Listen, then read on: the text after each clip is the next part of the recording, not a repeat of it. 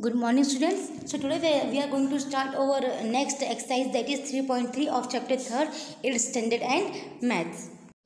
Okay so see we have first question given that given a parallelogram हमें एक parallelogram given होगा, ठीक है? उसमें ए बी सी डी है, उसे हमें कंप्लीट करना है। पैरेलोग्राम है, वो आप अपनी बुक में देख सकते हैं डायग्राम में थ्री पॉइंट वन एक्सरसाइज में। सो सी उसमें बोला गया था कि A D is equals B C ठीक है? तो ए डी है, वो बी सी के इक्वल है। क्यों? क्योंकि ऑपोजिट साइड जो होती है, वो इक्वल होती है पैरेलोग्राम की। Then angle D C B is equals angle D A B अब ये क्यों है? क्योंकि ऑपोजिट एंगल से वो भी क्या होते हैं? इक्वल होते हैं। Then next third O C equals O A ये क्या है? डायगनल से एंड डायगनल से जो वो वो क्या करते हैं? बाइसेक करते हैं एक दूसरे को। मतलब वो सेंटर से कट करते हैं एक दूसरे को। ओके सो देखिए फोर्थ हमारे पास है फोर्थ पार्ट कि angle D A B plus angle C D A is equals one eighty degree क्यों? क्योंकि एडजस्टेंट एंगल से एडजस्टेंट एंगल्स मतलब ऐसे एंगल जिनका एक ही कॉर्नर हो ठीक है? तो वो क्या होता है? एडजस्टेंट होते हैं इसीलिए वो वन एटी के इक्वल होते हैं.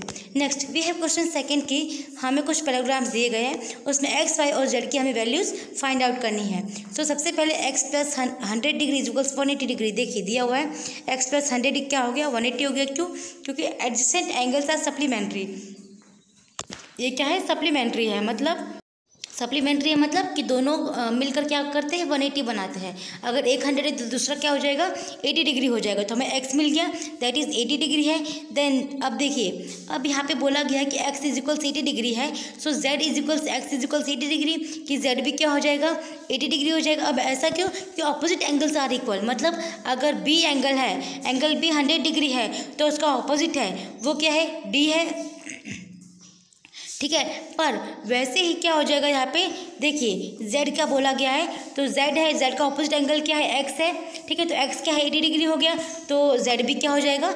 एटी डिग्री हो जाएगा क्योंकि ऑपोजिट एंगल्स क्या होते हैं? इक्वल होते हैं।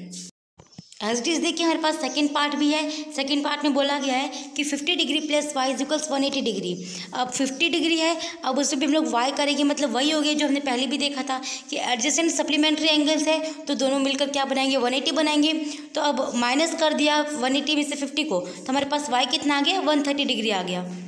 वाई कितना आ गया? वन थर्टी डिग्री आ गया। तो देखिए फिफ्टी तो हमारे पास है ही पहले वाई आ गया हमारे पास।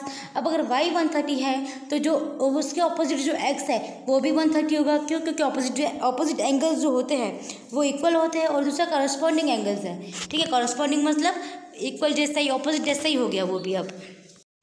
नेक्स्ट हमारे पास है थर्ड वन अब इसमें क्या बोला गया है कि एक्स इज़ इक्वल से वो कितना है? नाइन्टी डिग्री का है। अब एक्स कहा एक्स है वो नाइन्टी डिग्री है तो वर्टिकली ऑपोजिट एंगल्स है।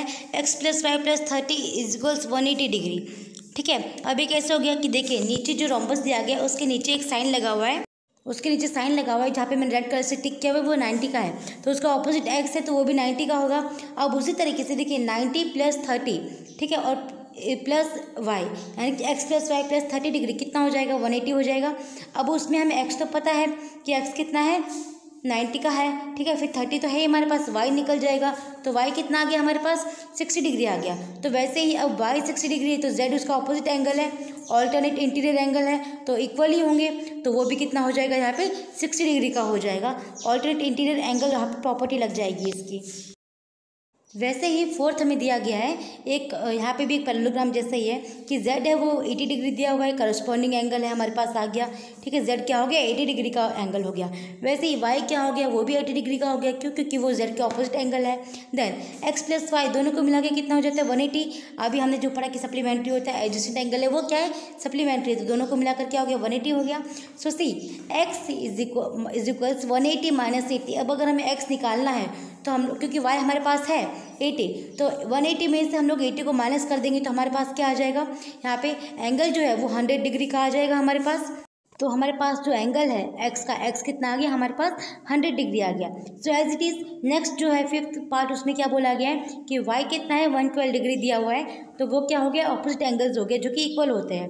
देन नेक्स्ट है एक्स प्लस वाई प्लस इसका डायग्राम आपके बुक में दिया हुआ है, आप वहाँ पे देखिएगा कि X plus Y plus forty degree equals one eighty degree अब यहाँ पे जेड हमें दिया गया है, ठीक है फोर्टी डिग्री तो हमने क्या किया कि वन फोर्टी में से हमने उसको माइनस कर दिया। अब देखिए वाई की वैल्यू भी हमें गिवन है और हमारे पास फोर्टी डिग्री भी है तो हम लोग एक्स की वैल्यू निकाल सकते हैं। उसके लिए हमें क्या करना पड़ेगा?